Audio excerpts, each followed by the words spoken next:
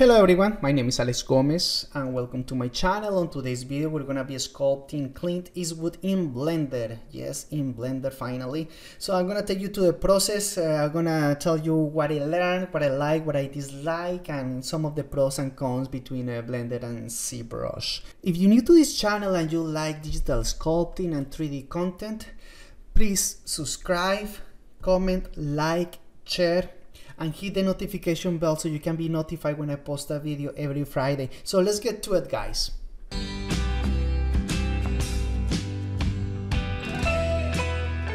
Okay, so starting the blockout, I start with just normal spheres, uh, primitive shapes. That's what I normally do when I decide to block out the character.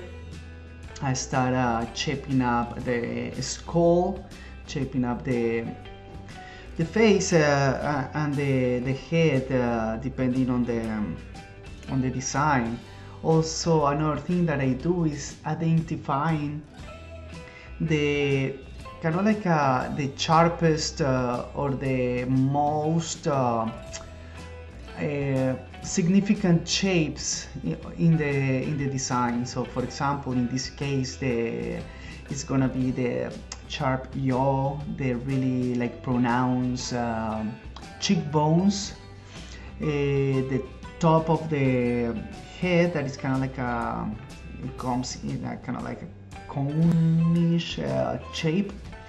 Um, I then started kind of like a putting where I think the eyes, nose and mouth is gonna be but without getting into too many details I just want to get a, a better sense of how my character is looking.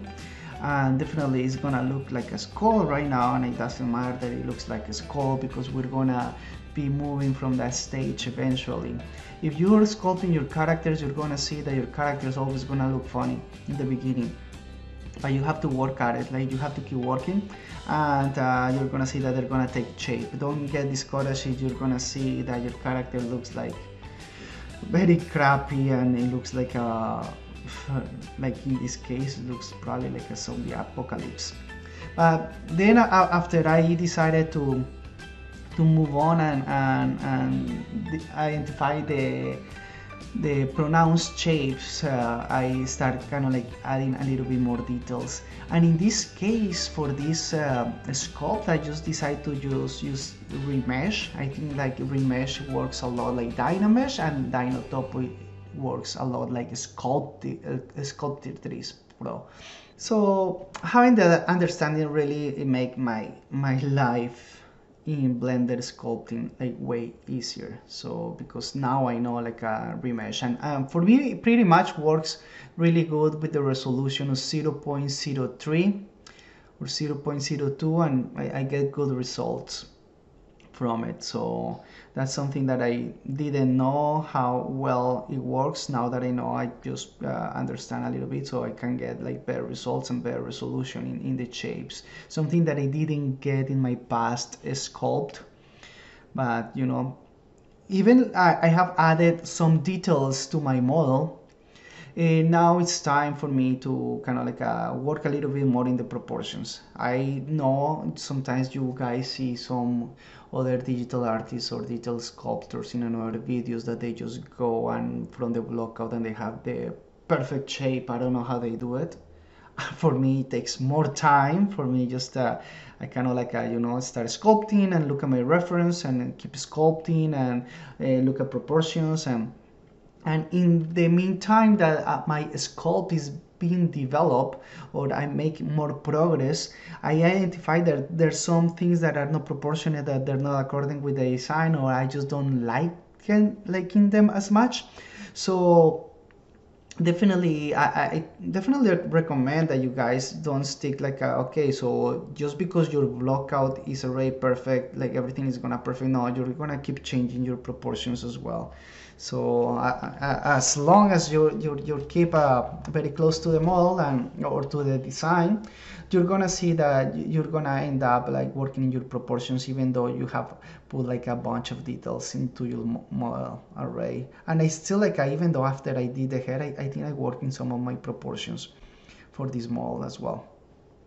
So the head in this process was pretty simple. I just uh, create um, a cylinder and then I just kind of like crease some of the sharp edges that I think were gonna be kind of like a sharp stylized. Uh, I did it in object mode. I could have done it probably like a, just to draw it in sculpting mode, but I just did it like a, you know, just crease the edges and, and uh, gave me like a really nice sharp uh, and neat edges uh, to work for the head, for the hair, sorry. So one of the things that I really like about, about Blender is that like I'm more comfortable to do um, a hard surface uh, or polygonal modeling in a 3D software like uh, like Blender or Maya. I might uh, start doing some tutorials on um, um, some hard surface like stylized uh, props and stuff like that. But uh, but what I really like for me is that I can just go back and forward between sculpting mode and object mode. So I can just uh, definitely like uh, like add some um, some shapes as this case I did with, for example, the um, the shirt, the tie, uh, and the jacket was all made like a, as, a, as a polygonal. But yeah, definitely I've been liking Blender more and more. Uh, I've been getting more comfortable with the tools and uh, how everything works. I've been working with Maya for so long, like it's been like since 2005 I've been working with Maya, so it's been a, a long time for, for me. It's a little bit uh, different to to kind of like a wrap my my head around Blender which is a really good software. Um, other thing that I use for my renders is Redshift, and uh, and now there is a new version for Redshift uh, for uh, for Blender. So it is, it is good, but uh, when I was rendering this character, kind of like became a little bit frustrated because was taking a little bit long to load the plugin, to load materials, and uh, something that doesn't happen with Maya. So I have to check what's going on with that. But definitely, definitely, like if uh, Redshift keep develop developing these for Blender, I definitely make the switch because the Redshift is insanely, insanely fast. I have the license for it, and uh, you guys can give it a try in Blender, in Maya, or uh, in a, a, any other software, Houdini, Cinema 4D that you guys use. It's definitely worth a try because you're gonna be surprised how much faster this uh, GPU rendering is and, and it's amazing like uh, you get like in, instant results and uh, you sometimes like kind of like a uh, you can do it with Eevee and it's fine and you can have like a, uh, or cycles but trust me when I tell you like a Redshift is insanely fast. One of the things that I didn't understand in Blender sculpting was uh, for example, when I create a primitive and then I put it in a in a sculpting mode, there was something super weird going on with my move tool. So I couldn't move good. And I knew that in order to move, you have to kind of like a freeze all the transformations or, or uh, set up or I don't know, like reset the transformations. Don't remember how you say it in Blender, but uh, yeah. So so everything is on zeros. The scales, the trans, uh, translations, the rotations, they have to be all in zeros for for uh, for the brushes to be able to behave in, in a in a good way. So that was happening to me when I was uh, uh, doing the the eyebrows and I was just repeating and repeating and I was like, what's going on? And definitely I had some of the scale uh, in, has some numbers there. So I have to reset those transformations in the in the scale of that object for be for be able to to work so yeah so for example like uh, this case probably like uh, in ZBrush would have been a little bit faster but I get like a nicer and, and better shapes or sharp edges if I use kind of like a polygonal modeling like that and I just like I, I like to model as well. That's my my other uh, second thing that I like to do. I, like, love sculpting, modeling, and and what I do for work right now, I do a lot of lighting. So so definitely like uh, I, I don't know. I just find the switch between object uh, object mode and sculpting mode it's, it's great because it, it, for me it's been a little bit hard and tough to do kind of like a hard surface modeling in in uh, ZBrush.